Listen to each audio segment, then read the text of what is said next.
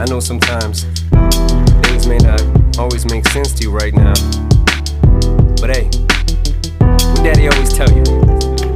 Straighten up, little soldier. Stiffen up that upper lip.